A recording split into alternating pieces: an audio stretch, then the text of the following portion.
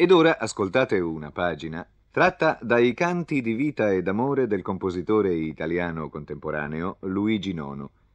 Potete facilmente seguire con lo spartito sia le sfumature di intensità che gli sbalzi di altezza.